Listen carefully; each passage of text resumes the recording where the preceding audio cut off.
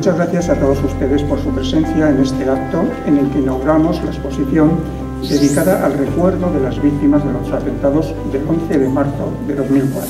Su autor, Eduardo Nave, con su superposición de imágenes, con su pretendido viaje en el tiempo, nos, muestra una vez más la permanente ausencia de todas y cada una de las víctimas de aquel fatídico 11 de marzo, algunos de ellos muy vinculados a la provincia de Guadalajara.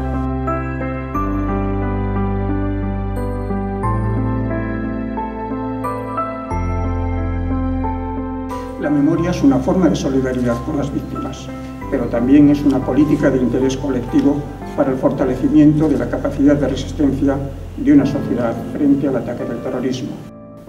El objetivo de esta exposición es precisamente es el recordar eh, a las víctimas, mostrar los valores que afloraron y, y construir un espacio de emociones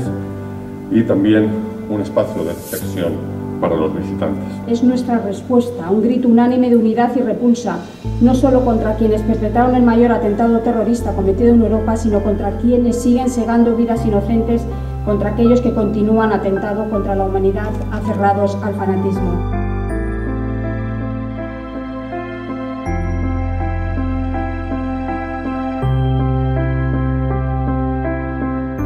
Cualquier recuerdo y homenaje que brindemos a la víctima del terrorismo es importante y porque de esta manera desde el arte podemos sensibilizar y concienciar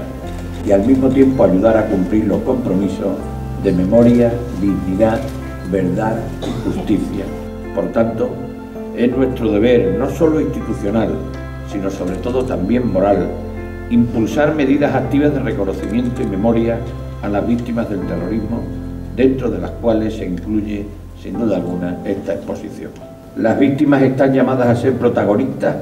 como referentes de dignidad y coraje y como agentes de paz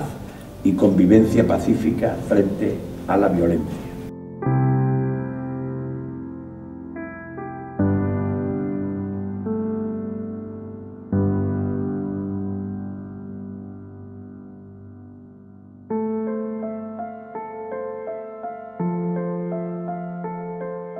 Alcemos la voz para defender que los únicos héroes son quienes han dado su vida por defender la libertad y la democracia, los mismos cuyas iniciales cuelgan del techo de este espacio cultural. En definitiva, estas imágenes nos hacen ver a quienes ya no están en ellas o a quienes ya no serán capaces de vivir su vida sin el dolor de aquel día. Sirvan pues esta exposición como espacio de encuentro donde convocar a todas las personas de bien a renovar su compromiso con las víctimas, a honrarlas y a perpetuar su recuerdo en el presente y en el futuro. Termino y lo hago reiterando mi más sincero agradecimiento a los artistas que nos han brindado sus obras y, como no, a la ciudad y al ayuntamiento, y muy particularmente a su alcalde de Guadalajara por su generosa acogida.